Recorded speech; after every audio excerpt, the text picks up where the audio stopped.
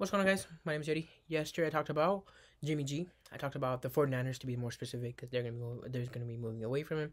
So I I revealed my third pick yesterday. If you haven't watched that video, check it out. Close fight between Justin Fields and Trey Lance. Da, da, da, Go check that one out. All right. All right. Anyway, let's move on. Today's video is about our guy Justin Herbert, J Herb, right? Our dude, man he's the only guy that I'm going to be voting for in the future. I'm telling you, dude, this is going to be the train that I'm going to ride in after Brady retires. It's going to be awesome. And I actually have the Chargers in the Super Bowl because of Justin Herbert. So you can't say that there's any other, you know, because look, 2003 was when I was born, right? So I wasn't here in the 2000s when Brady got drafted. So I never like really believed, or I never, I've, I was never one of those guys who were like, dude, dude comes in your first year, plays in the league, and I'm already on him, right? I was never like that with Brady, and the people who were, they're gonna be like, "Oh, dude, like I'm the die-hard Brady fan."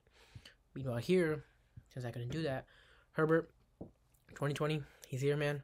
That's my guy.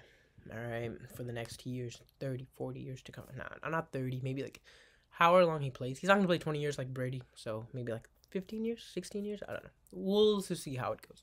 But yeah, Herbert, absolute beast. But in today's video, let's talk about the offensive tackle, Rashawn Slater. If we get that dude, it's over. I mean, not much to say at all. That intro was pretty long, to be honest. Like, that's literally half the video.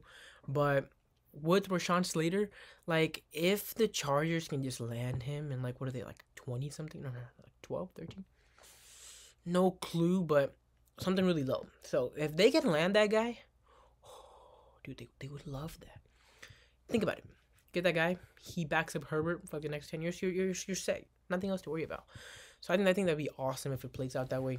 And I'm not gonna sit here and like speculate anything else happening.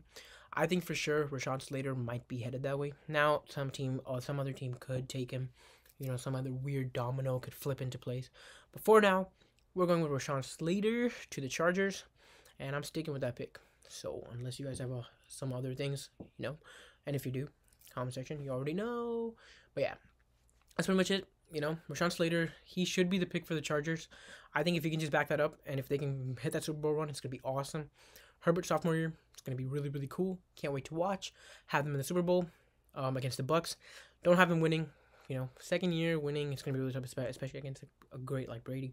So right now, here are my picks. I've actually made my picks really clear a long time ago that I'm going with Chargers Bucs in the Super Bowl.